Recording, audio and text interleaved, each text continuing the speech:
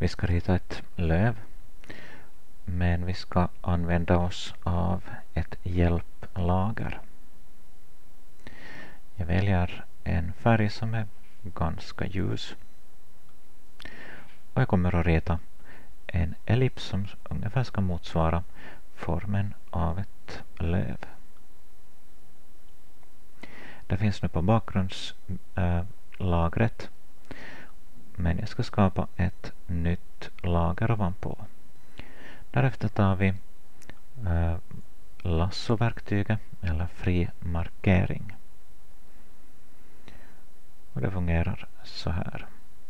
Jag kan trycka och hålla ner men jag kan också använda mig av en polygonform.